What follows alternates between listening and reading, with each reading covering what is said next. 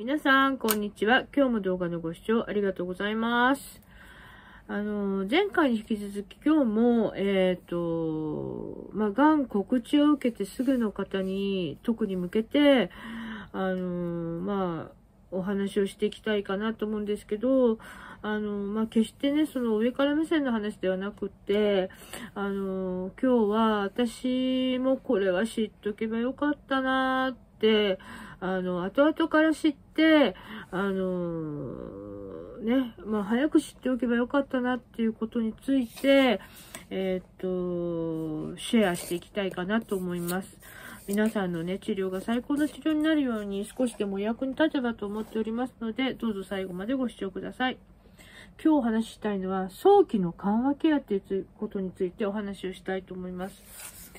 ね、緩和ケアって聞いたことあると思うんですけど、そこの頭に早期ってついてるんですよね。早期緩和ケアっていうことが言われてます。あのね、緩和ケアって、あの、最初私、思ってたのは、印象に思ってたのは、あの、もうね、えっと、終末期の方が、あの、痛みを和らげるために受ける治療だったりとか、それから、あの、緩和ケア病棟とかですね、まあ、ホスピスとかってある、あるじゃないですか。もう、そういうところで受ける治療だと思ってたんですよね。だから、まあ、あの、がん告知を受けてすぐの私は、まあ、関係ないなって思ってたんですよね。関係ないっていうか、まあ、該当しないだろうなと思ってたんですよね。ただ、あの、私もがん告知を受けて、まあまあ、いろいろあって、今の病院に移って、検査、全身受け、の検査を受けて、まあ、ステージ4って言われた時には、やっぱ相当ショックだったんですよね。あのー、まあ、性格上ね、ちょっとあんまり表には出ないようにはしちゃってたんですけど、休みの日になると、うーん、まあ、すごいひどい落ち込み方をしたりとか、今まで過去にないような、あのー、ね、もうちょっと不安といろんな、もうネガティブな思いが心の中で葛藤し始めちゃって、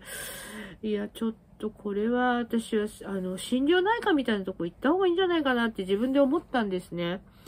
なんですけど、今、私が通ってる病院の中には心療内科って言われる科はなくって、まあもちろん緩和ケア科っていうのはあるんですけど、まあそこはまず該当しないだろうと、勝手にまあ私自分で決めつけてて、で、あとメンタルヘルス科っていうのがあったんですけど、あの、まあ精神科の先生がいらっしゃるかなんで、これか、ちょっと違くないかって、勝手には自分でいろんなことを思って、まあ、誰かにね、あの、がん相談支援センターだったりとか、主治医の先生に相談すればよかったんですけど、あのまあ、そこの活用法もね、まだうまく活用できてなくって、あの、一人でま抱え込んじゃってたんですけど、あの、心の悩みというかね、心のそのもやもやしたやつを。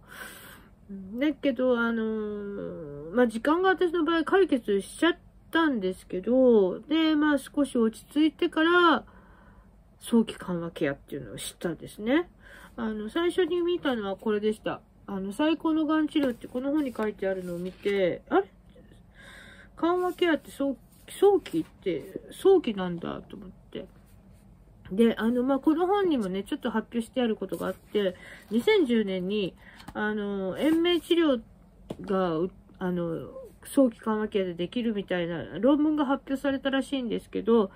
あの、結局それもね、あの、立証されてない話なので、もしどっかでそれを聞かれた方は、あの、眉唾本だと思った方がいいかなと思います。わかんないですけどね。まあ、あの、その後の研究でそれがもうそういう前向きなものになってるのかもしれないけど、あの、今のところ、まあ、あんまりなんか立証されてないってこの本にも書いてあるし、まあ、押川先生なんかも、それは眉唾本だな、みたいな話をどっかの動画で上げてらしたんで、まあ、あんまりそれは、まあ、ちょっとさておいてなんですけど、あの、とにかくね、早期の緩和ケアっていうことで、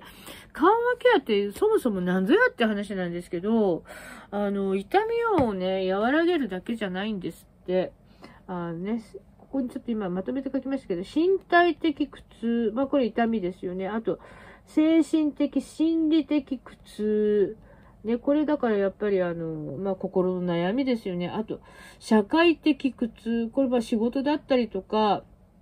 生活がもうね、これから続けられないんじゃないかとか、いろんな不安について、そういうことについてのね、緩和を行うのが、あの、緩和ケアの役目だっていうのがね、あの、ちょっとある文献に出てたんで、それまたちょっと後でリンク貼っとくんですけど、これね、あの、リンク貼るって言ってた文献が、あの、まあ、ちょっと最新のもの探したんですけど、見つからなくって、えー、っと、平成28年の12月に、がん等における緩和ケアのさらなる推進に関する検討会っていうのがあったみたいで、えー、っと、それの報告書です。それをちょっとあの見つけたので、ちょっとリンク貼っときますね。で、ここに書いてあるのは、まあ、あの、緩和ケアについていろいろまとめて書いてあるんですけど、あの、まあ、緩和ケアってなぜやっていうのは、まあ、これ、そこの文献から拾ってるぶあの言葉なんですけど、ワードなんですけどね。あのー、ね、このワードについては、ちょっと他の文献だとね、ちょっと表現方法が違ったりはしてますけど、まあ、主に同じような内容なので、ちょっとこれ書いておきました。ね、あの、他にもね、ちょっと興味深いことがあって、えー、っと、平成24年の6月に閣議決定された、閣議決定ですよ。だからこれ、あの、政府介入してる話なのかなと思うんですけど、基本計画において、えっ、と、癌と診断された時からの緩和ケアの推進が挙げられたって書いてあるんですね。これ国会で議論されたのかなと思って見てたんですけど、あのー、ただね、これね、推進が上げられたっていうところで終わってるので、えっ、と、まあ、法的になんかこうね、あのー、強制力のあるようなことには今ん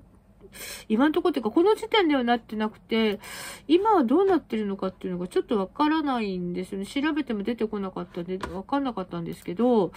あの、ただそういうふうにね、えっと、閣議決定ってことは、あの厚生労働省のホームページになんか出てんじゃないのかなと思って、探したんですけど、まあ、法的にどうのこうのっていう話はちょっと見つけられなくって、ただそこに、あの、厚生労働省の方に書いてあった緩和ケアには、あの、やっぱり、あの、癌に伴う心と体の辛さを和らげますっていうことが書いてあるんですね。そう。で、あの、あとそうだ、WHO って世界保健機構のね、緩和ケアの定義っていうのも書いてあります。で、それによると、まあ、ちょっと表現方法がやっぱ違いますね。うんと、痛みと身体的なと、あと社会的と、スピリチュアルって書いてありますね。うん、スピリチュアルか。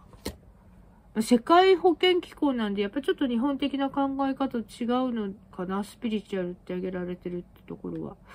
で、あと、なんか、緩和ケアチームの話だったりとかも、これも、あの、ちょっと、あのまたリンク貼っときます。もうリンク貼りだらけですね。もう私が説明するよりもこういうの読んだ方が早いと思うので。あと、えー、っと、またね、それであの動画の方もね、いろいろな先生がやっぱり早期緩和ケアっていうお話はされてます。うん。で、あのー、まあ、やっぱりだからその末期だけじゃないっていうことね、いろんな先生がおっしゃっていて、あのー、また、押川先生の話がまたで、ここで登場するんですけど、あの、ライブチャットで、えっ、と、緩和ケア科の先生とコラボしてる動画があって、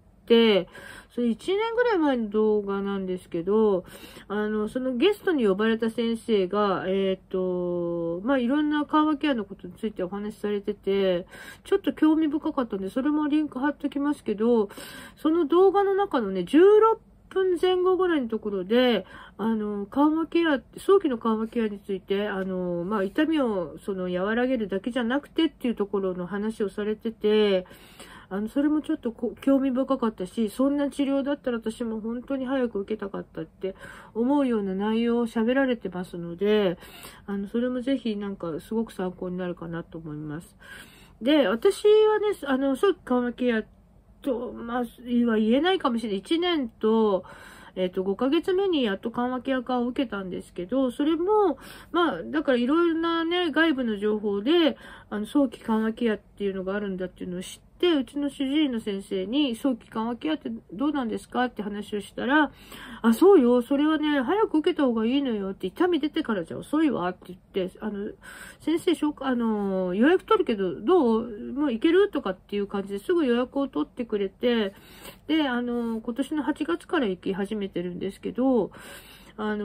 まあ、私はだから本当に早期間に合ったのかどうなのか、ちょっとそこも微妙なんですけどね、あの、痛みも出てきて、痛み止めもらったりとかしてるんで、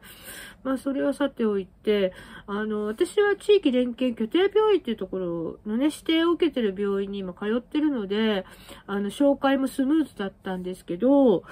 あのー、ね、えっ、ー、と、まあ、自分の通われてる病院に地域連携拠点病院じゃなかった、緩和ケア科がね、ないっていう病院に通われてる方は、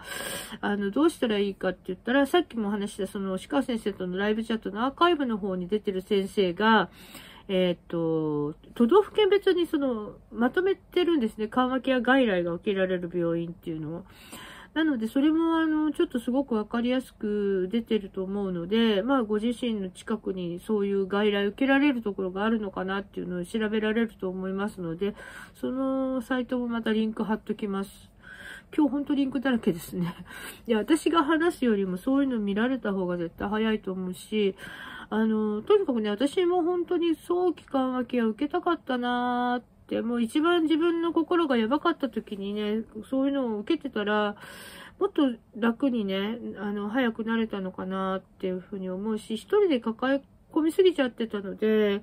あの、本当にね、もうそれは、あの、薬の副作用とかじゃなくて、毛の抜ける思いだったんで、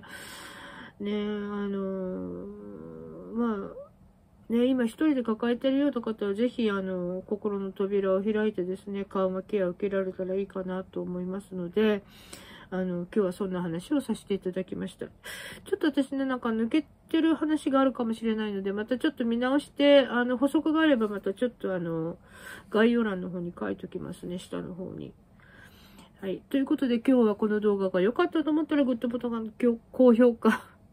また噛みました。ごめんなさい。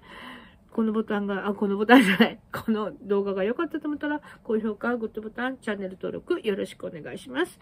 それでは次の動画でお会いしましょう。バイバイ。